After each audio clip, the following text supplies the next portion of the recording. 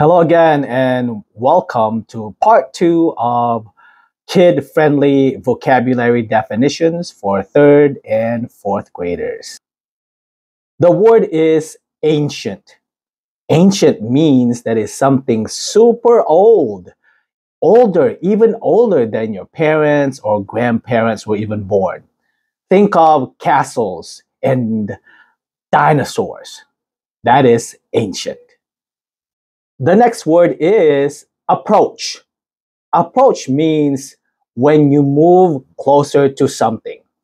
It's like you're moving closer to a friend of yours at the playground.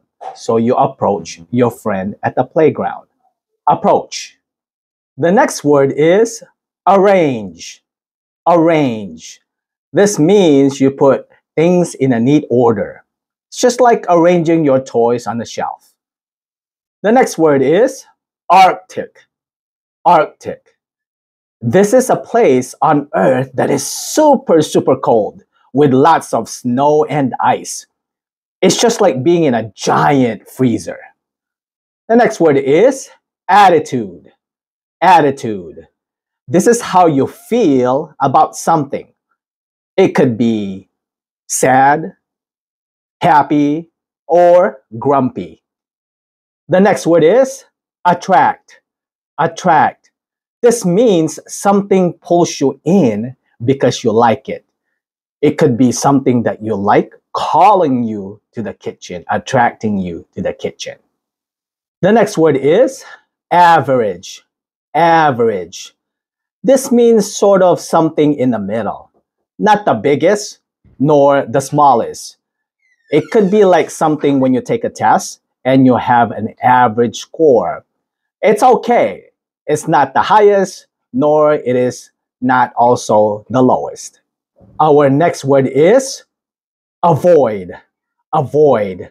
This means staying away from something that you don't want to happen. Just like avoiding a puddle from the rain. Our next word is bold. Bold. This means someone is brave and not scared to try new things. It's just like being the first one to try to climb a tree or the first one to do something that no one has ever done before. Our next word is border. Border. This is the edge or a line around something. It's like having a border around your house or the border around the schoolyard.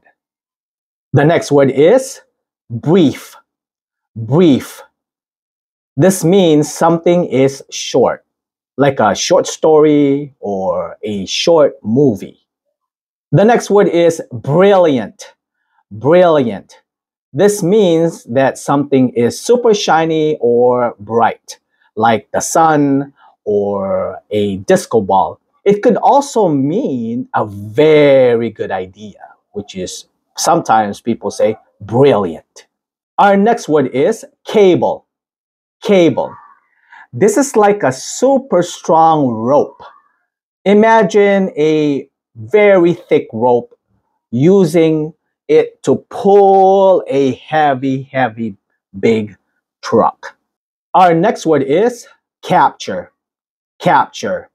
This means you catch something, like catching a butterfly or a dragonfly, or catching a cold. Our next word, we have two possible pronunciation. It could be certain, certain, or the more Americanized way, certain, certain. It means you're absolutely sure about something, no doubt about it. It's like you're certain that the sun will rise in the morning. Our next word is chill. Chill. This means this is how it feels when it's cold. It's like you, how your hands will feel when you just got done playing in the snow or when you hold on to an ice cube from the fridge. Our next word is clever. Clever. This means someone is smart and quick thinking.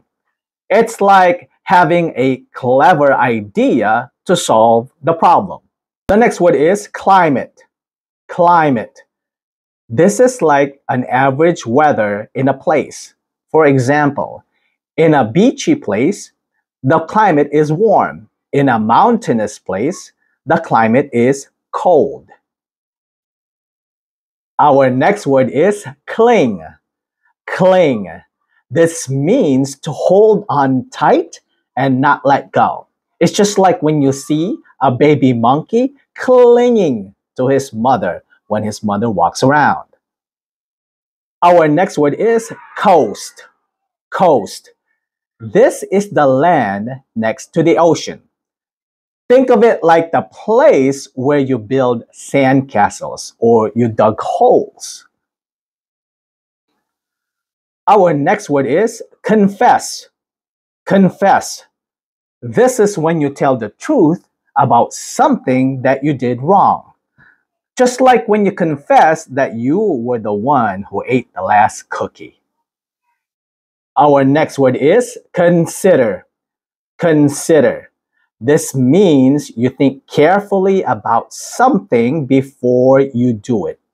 It's like considering carefully whether you want to buy a PS5 or an Xbox or a Samsung cell phone or an iPhone.